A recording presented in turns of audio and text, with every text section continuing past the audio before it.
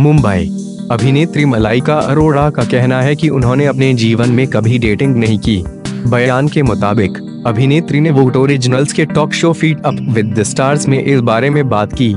इस शो को celebrity stylist Anaita Shroff Adajania host करती हैं। उन्होंने डेटिंग पर अपनी राय के बारे में पूछे जाने पर कहा, मैं इन सब के लिए बहुत नई हूँ।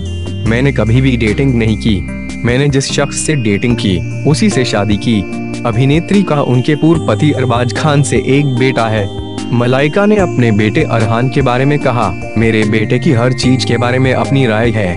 मेरे बेटे के दोस्त मुझे कूल समझते हैं क्योंकि मैं किसी की ज़िंदगी में दखलंदाजी नहीं करती।